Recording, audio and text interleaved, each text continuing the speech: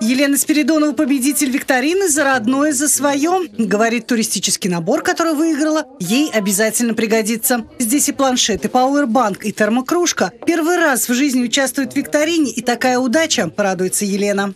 Я очень рада, спасибо большое. Было очень неожиданно выиграть. А буду пользоваться. Я катаюсь на коньках в выходные дни. Очень кружка термо мне пригодится, я думаю, буду пользоваться.